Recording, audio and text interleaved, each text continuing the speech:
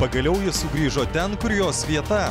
Olimpinė čempionė Rūta Meilutytė prasidėjusiame 2017 m.